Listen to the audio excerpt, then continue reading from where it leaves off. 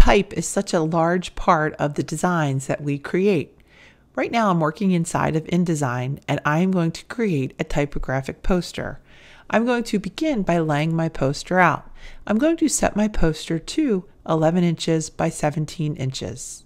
This poster is going to be one page and I will set the columns to be a four column display. I'm going to set my margins to 0.125 inches. I hit create. I have my InDesign layout for my page. Now I want to go and find some interesting fonts. So I'm going to go to the internet and I am going to go to dafont.com. There are a lot of different places where I can go and get fonts from Adobe, 1001 Fonts. For the sake of this project, let's take a look at how we would go about working with a free font. And we can see we can download it and we can also do demos. We always want to make sure that when we are using fonts that we check and see what the copyright is. So for instance, Monday is free for personal use. I can look a little bit closer and choose comic fonts, typewriter fonts, and I'm going to come to old newspaper type because it's 100% free. Most of these fonts probably actually came directly from a typewriter. So I have old newspaper types and I'm going to click download. I see my file has downloaded to my computer and I double click to open it up. And what I want to see is I want to open up the .ttf file. You may also end up with a .otf file. These are font files. And it's as easy as just clicking install font.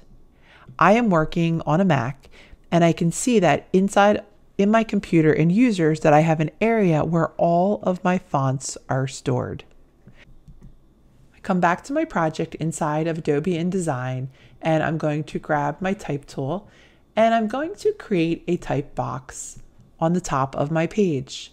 I am going to type typewriter.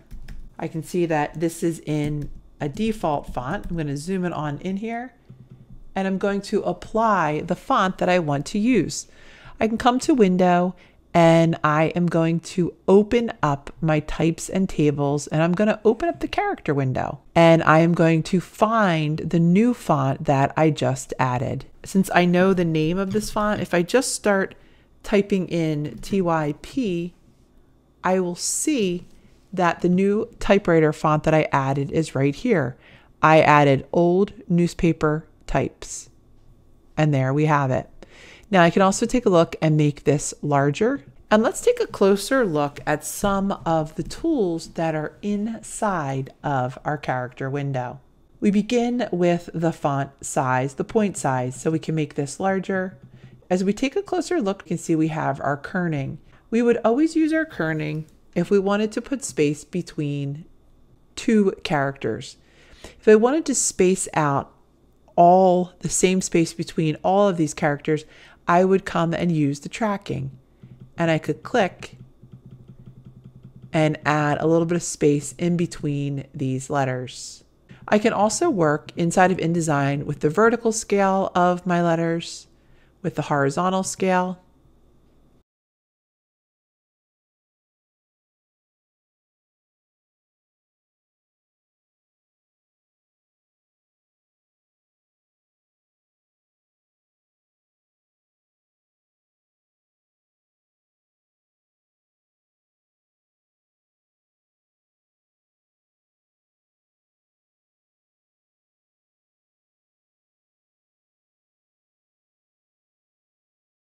And I can even get really specific about the slant.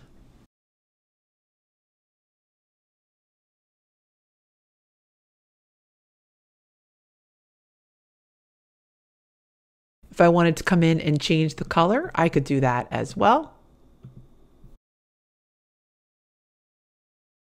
And there we have it. How we go about adding new fonts to our projects.